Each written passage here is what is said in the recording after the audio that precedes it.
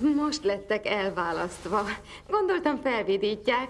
Önkéntelenül is mosolyra fakasztják az ember. Gondolja, hogy Mr. Elton hölgyekkel is találkozik ott? Nem tudom. Nézze a mancsát. Megbocsájtanám neki. Mikor jön vissza?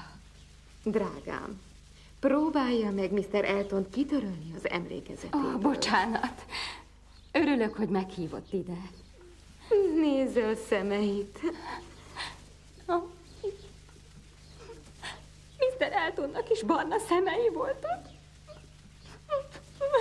Ó, oh, Harry, csak egy hely van, ahol nem tud majd róla beszélni. Sőt, nem csak róla.